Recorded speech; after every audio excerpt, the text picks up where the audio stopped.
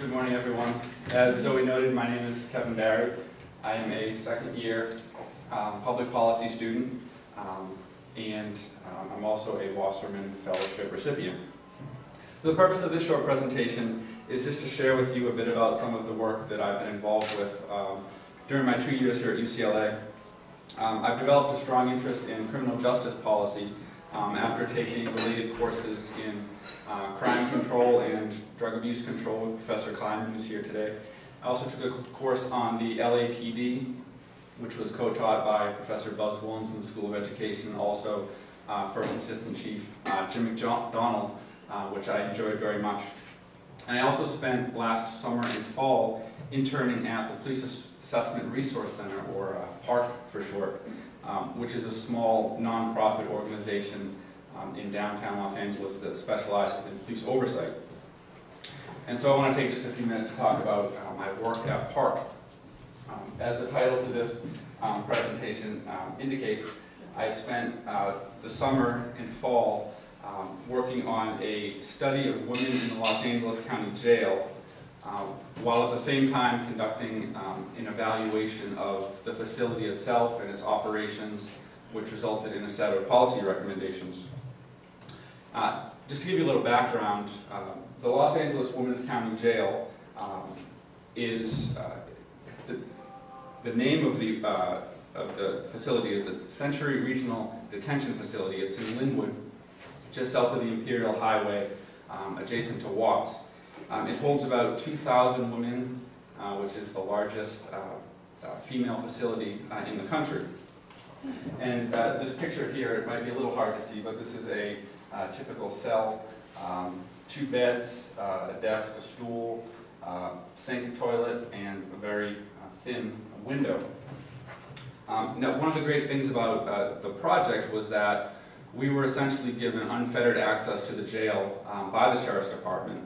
So over the course of two weeks in September, myself and a couple of other um, PARC researchers uh, went to the jail almost every day to administer a detailed survey um, to approximately 300 plus women in jail.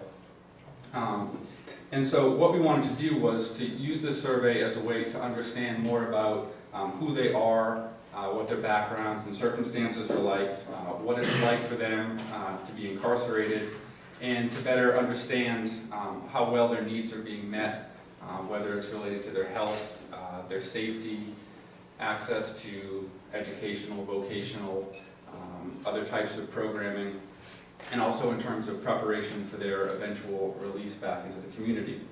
And we also met extensively with uh, custody officials just to make sure that we were hearing um, all perspectives. And we did gather an enormous amount of information uh, as a result of our work, and, and, if anybody here is seriously interested in the topic, uh, feel free to come see me afterwards and I can point you in the direction of our 200 plus page report. Um, but for now, I'll briefly summarize just a few key takeaways and conclusions. Um, on the positive side, we found that the jail is a modern, safe, clean, uh, fairly well-run facility, um, although there's certainly a need for improvement in a number of key areas.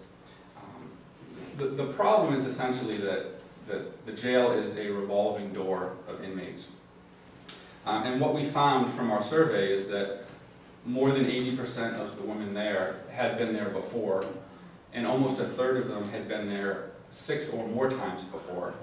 So they keep coming in, getting out, coming back in, getting out, going back in, and so forth, and it, they keep cycling. Um, almost two-thirds of the women uh, who were there reported being on probation or parole um, at the time of their arrest um, which raises uh, concerns about how well those uh, systems are functioning as well. A large percentage of the women are minorities. Uh, we also found very high levels of reported um, substance abuse, um, homelessness, unemployment, um, health problems including mental health, um, very low levels of educational achievement. Um, so in general, a, a, large proportion of the women who are in jail have very um, unstable lives outside of jail, certainly at the time of their arrest. And although the results were somewhat expected, we were nevertheless surprised just by the, the sheer extent to which some of these problems exist um, among the inmate population.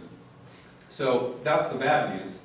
Uh, the good news is that uh, jail administrators are in the process of developing um, and expanding a number of um, promising uh, programs and transitional services um, that should hopefully put women in a better position to um, re-enter the community upon their release and improve their outcomes. Um, as often seems to be the case, however, um, it really comes down to a matter of uh, limited resources, um, and more are certainly needed, though not necessarily forthcoming. Um, so I will leave it at that. Again, if, if anyone here is interested in hearing more about this, please come find me afterwards, and I'll be happy to speak with you. Thank you.